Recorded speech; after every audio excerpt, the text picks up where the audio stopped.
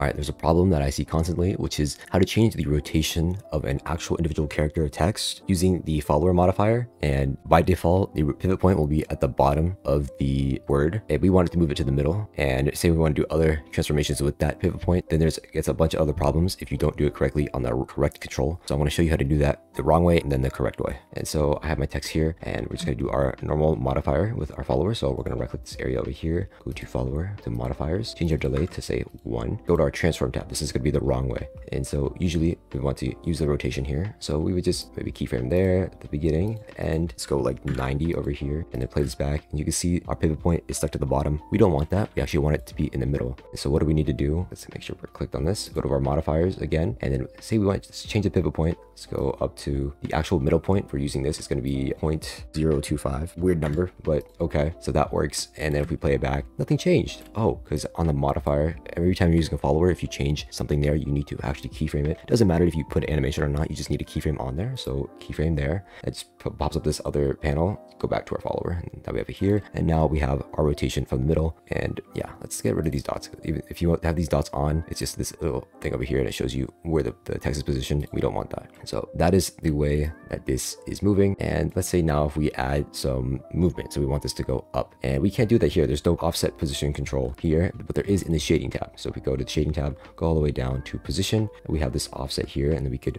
right click it and we need to use a modifier with the XY path here in order to animate it. It's just there is no other control. This is the only control. And if we keyframe it with the offset, it doesn't work. So XY, keyframe at the beginning, keyframe at the end. Let's go down and back and let's do like that. And you can see we're moving it down, but it's moving this text to the right. It's being based off the position of the text. And since we have it rotated to 90 degrees, now it's moving to the right. But that's not what we want. We want it to move down. So now we have get an animation like this. And that's really weird and awkward and dumb. We don't want that. What we do want the offset to go from the bottom to the top and have this rotation in the middle stay there. So what do we do? We actually go back to our follower and we don't use the rotation control and the transform over here. Let's get rid of this, double click it and that'll uh, reset it. And we have our animation like this. We want to use the actual rotation in the shading tab down here, right below the position here is the rotation. We can go over here and then keyframe it and keyframe it again at the end, go back and let's change our value again to 90. And then now we have this incorrect movement. Oh, we also forgot to reset the transform over here, get rid of that pivot point, make sure that that's at zero.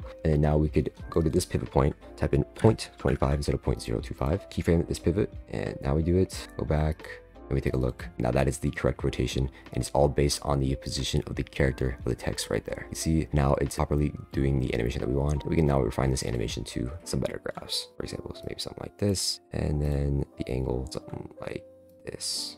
All right. Usually that's a little too quick, so I would keep him in opacity at the beginning, but that's basically the way that you would fix your rotation control problems that you're having with it. That. Right.